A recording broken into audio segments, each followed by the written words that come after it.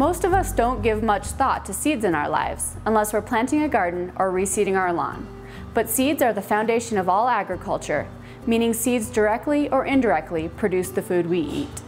Before a consumer can purchase a package of red Russian kale garden seed, for instance, someone has to test to make sure the seed will germinate and be kale instead of a weed.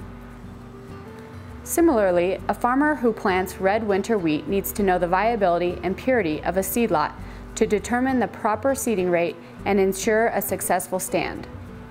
The Wyoming Seed Analysis Lab, Seed Lab for short, is instrumental in this process. The Seed Lab is housed at the Research and Extension Center in Powell.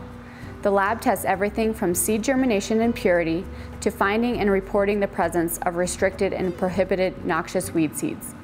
The results of seed tests provide necessary information for the seed labeling process, which is required under state law. Labeling standards help protect farmers and homeowners so they get quality seed. The results are also helpful to seed dealers, researchers, the Wyoming Department of Agriculture, and the Wyoming Seed Certification Service. So the next time you plant a seed, think about all the effort that went into producing, cleaning, testing, and labeling before it ever reaches your farm or backyard. From the University of Wyoming Extension, I'm Mae Smith, exploring the nature of Wyoming.